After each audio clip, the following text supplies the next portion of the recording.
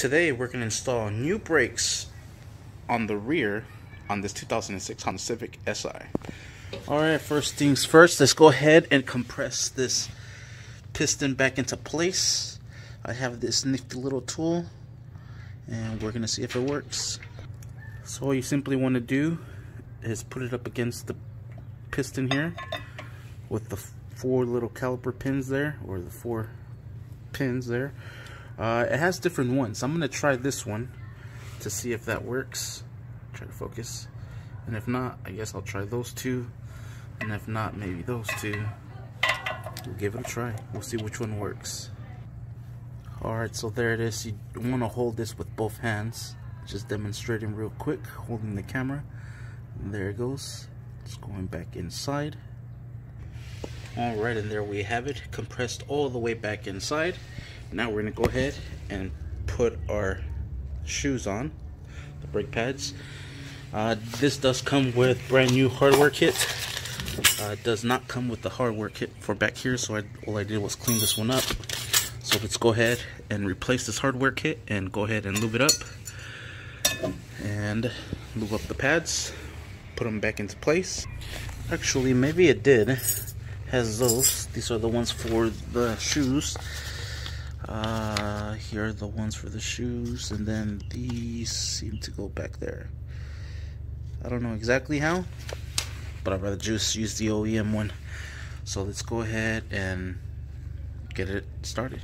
Alright, I went ahead and put synthetic brake and caliper grease, and I'm going to go ahead and mount it on there.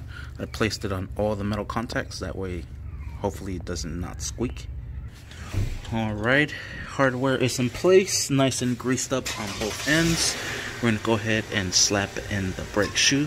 This will be on the exterior and the one with the sensor will be on the interior going downwards. So let's go ahead and insert this one right in there and they just slide into place uh, with a little bit of pressure.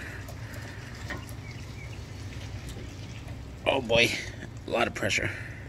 All right, brake, both brake shoes are in. Now we're gonna go ahead and hit it with the same brake and caliper synthetic grease.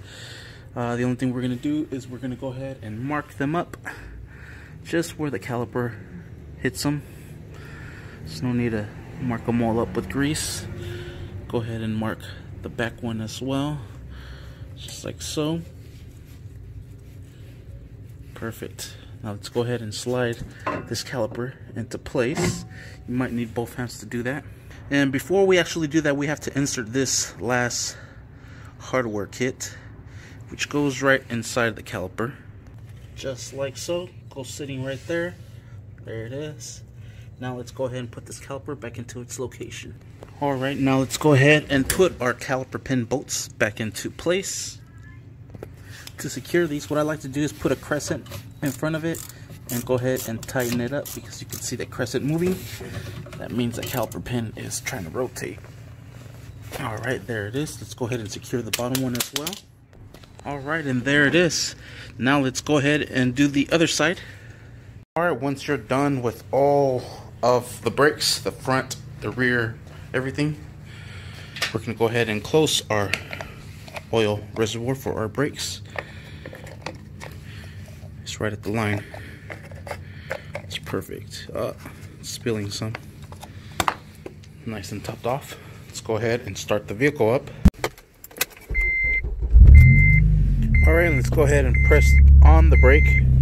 First time it's going to go all the way in and you could feel it getting harder and harder alright that's perfect nice and solid and you're done sweet. Thank you for watching.